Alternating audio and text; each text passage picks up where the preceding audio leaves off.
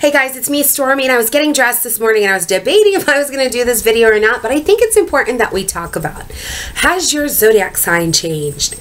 No! If you were a Virgo last night when you went to bed, short of any kind of magic or a reincarnation we're not aware of, you are still a Virgo this morning. Now, when you do look at evolutionary astrology and you're talking about progressions and things like that, that's a place where you could look and say, okay, I have progressed and I am um, considered to have lessons as a different sign, but that's a whole nother video, that's a whole nother topic, and feel free to look that up. As far as Western sun sign astrology goes, let's talk about the fact that your sign has not changed. A big hullabaloo has been created again by between popular magazines on the internet as well as a collaboration with NASA on that.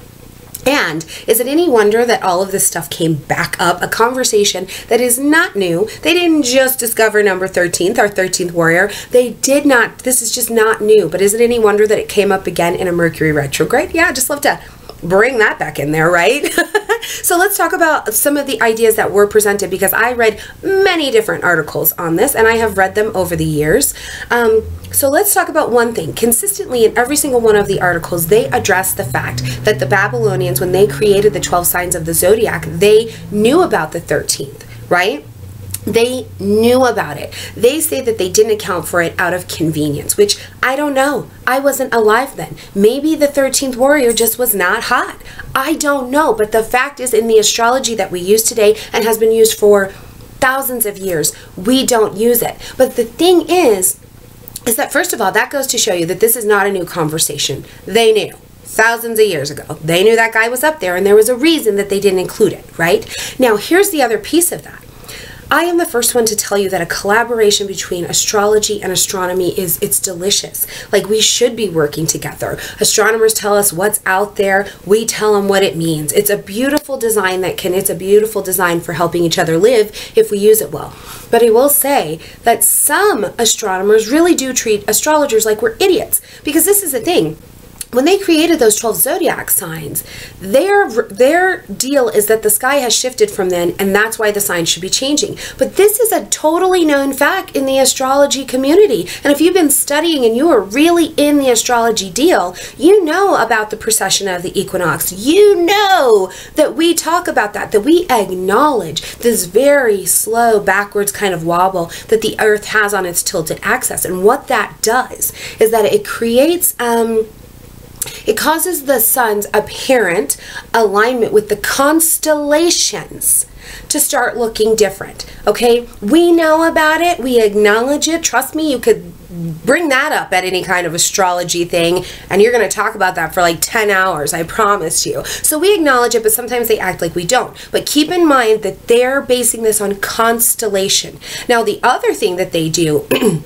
is they say that because this is a 13th constellation that when we divide our zodiac wheel like our slices we get 12 slices of pizza. We don't account for this constellation and that means that all of the signs are off. But that is just not the truth because we do not base our wheel we do not base our western astrology on constellations. It's a derivative of it but we don't base it on that. So let's look at a couple things that we do do and why it's important to understand. Now, the zodiac used in Western astrology is based on the seasons, not the constellations, right?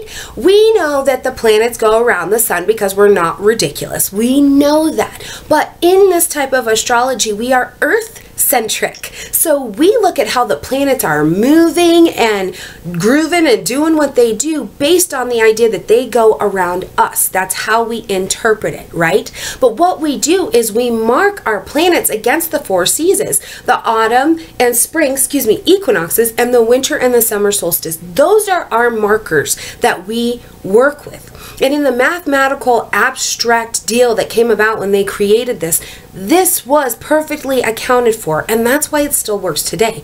Another thing is that, like I said, the signs are, they are just derived for from. It's not a perfect alignment with these constellations that share the same name. So Scorpio, when we look at that big fat wheel, it doesn't line up with exactly the constellation of Scorpio in the sky. It doesn't. And we've known that in a progression they continue to move a bit away from each other. But that does not change um, your sign. You know, that was the alignment 2,000 years ago. Then we start talking about progressions that are happening, but it doesn't change your sign. If you were um, a Leo, you're still a Leo today.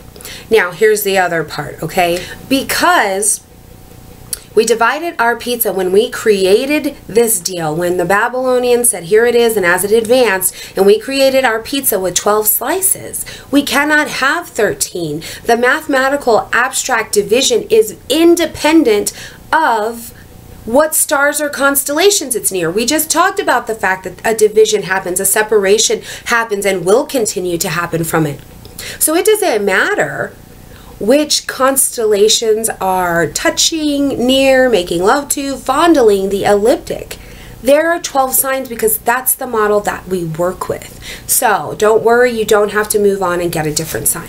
So when we talk about some of these things and you get all riled up, I love when these conversations happen with any industry. When something big happens, it sparks conversation, it sparks new knowledge because we have a lot of people just coming into their understanding and their growth of astrology and just starting to see its value. So when somebody brings something up like this or it hits the media, then it widespread attention and everybody freaks out because I don't really know how to be an Aries. You know what I mean? Like and I'm just here to tell you, you don't need to worry about that. The model that we're using in a Western sun, sun sign astrology still fits your sign. Now, does this mean that every astrologer should be closed-minded to advancements that come and us re-looking at the field of astrology? No, I don't think that that means that at all. I think that makes for a very silly astrologer as a matter of fact. However, in the current practicing models that we use and that most of us have a really intuitive connection to and we read well for you guys, your sun sign is still your sun sign, and there's no need for you to freak out.